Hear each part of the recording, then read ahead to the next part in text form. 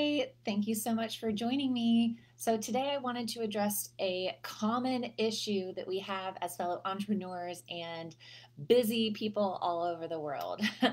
so, what happens when you don't have enough hours in the day, but you still want to work out?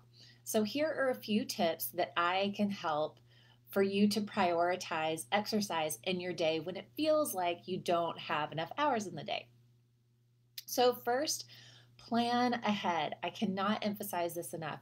Planning ahead for anything in life is the key to success. So, first of all, carve out time on your calendar as if it's a meeting, especially a meeting that you cannot cancel on.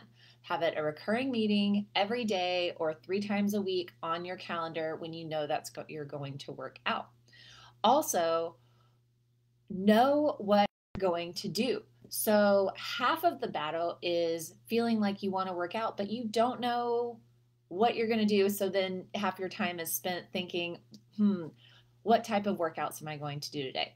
Either have a program that you know that you can just hit play, or you can spend a little bit of time over the weekend or a time or, you know, a less busy day where you can really write out what it is that you want to do, whether it's leg day, arm day, you're going to do a cardio day, full body, whatever it is, have it on your calendar with that recurring meeting to tell yourself, okay, today is lower body t- day today. And then you know, so you don't have to spend five, ten minutes of your precious time thinking about what it is that we want to do today because you already know it's already in there and you can proceed saving you plenty of time. Also, find a time that works best for you.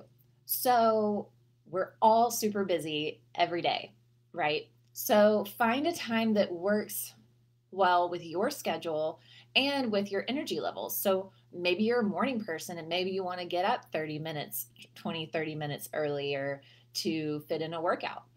That's not me.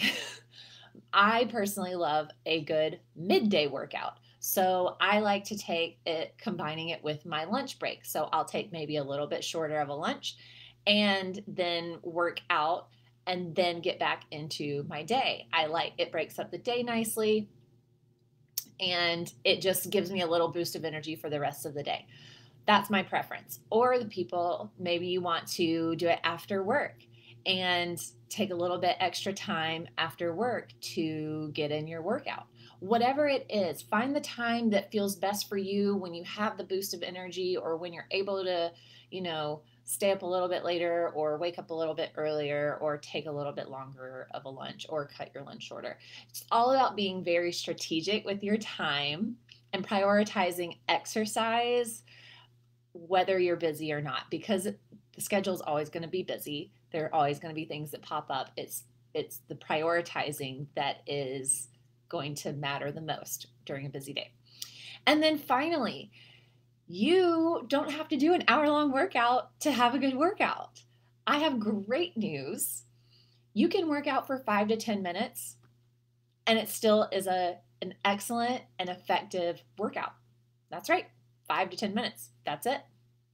So if you've only got maybe 10, 15 minutes, like a gap in your day, you can absolutely get in a fantastic workout in under 15 minutes, under 10 minutes. Like I said, five minutes can be a very effective workout.